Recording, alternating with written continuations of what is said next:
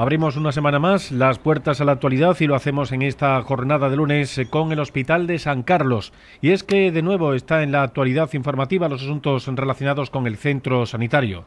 Esta misma jornada, el delegado de Presidencia y Ciudadanía, Daniel Nieto, ha reiterado el esfuerzo de todos los ciudadanos para sacar adelante el uso común del Hospital de San Carlos, una unidad social, a excepción del Partido Socialista, al que ha hecho una petición para que también se reincorpore a esta acción conjunta que todos los ciudadanos reclaman por el bien del centro sanitario.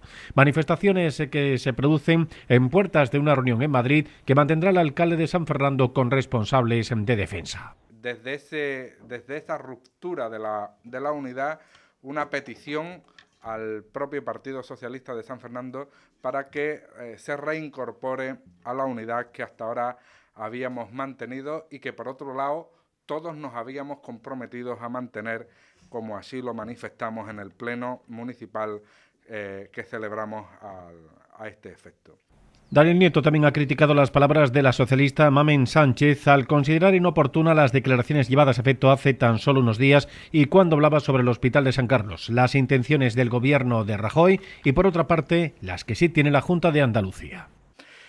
Digo que desde la responsabilidad institucional tenemos que decir claramente que las declaraciones de la señora Sánchez, diputada del Partido Socialista, de, en los últimos días, hace pocos días, eh, no vienen a ayudar en la búsqueda de las soluciones a este, a este problema. Es más, queremos decir con toda tranquilidad, pero también con toda contundencia, que si esa es la aportación de la señora Sánchez a, a esta cuestión, eh, le pedimos que la próxima vez eh, se abstenga de venir a, San Fernando, se quede en Jerez y haga, desarrolle otro tipo de actividad política por la provincia. Pero desde luego que no venga a San Fernando a sembrar dudas, a sembrar discordias y además a erigirse en portavoz del Ministerio de Defensa cuando eh, no es ella precisamente la mejor portavoz del Ministerio de Defensa. Y le hago un comentario. Decir públicamente que las intenciones del Ministerio de Defensa es privatizar el Hospital de San Carlos, además de una ah, falsedad, es algo que nos llama mucho la atención.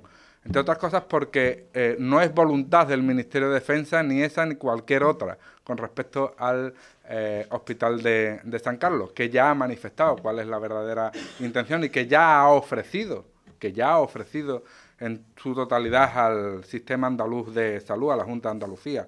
Lo que sí está claro es que quien tiene más de la mitad de los hospitales públicos andaluces privatizados es precisamente la Consejería de Salud.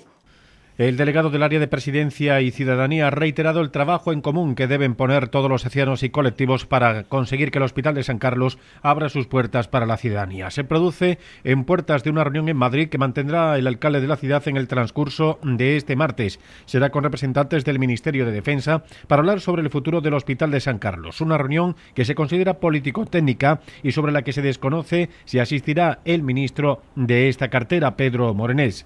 La consigna del primer edil será clara y concreta, la necesidad de que una ciudad como San Fernando cuente con un hospital propio.